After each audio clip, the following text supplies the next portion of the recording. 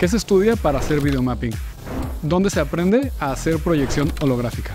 ¿Qué carrera te prepara para hacer realidad virtual? ¿Cuál es la licenciatura para programar apps? ¿En dónde se estudia animación, producción y robótica? ¿Qué carrera te prepara para programar audio? Eso que te llama se llama multimedia. Conoce el plan de estudios de la licenciatura en multimedia y medios interactivos. Inscríbete en el CAP.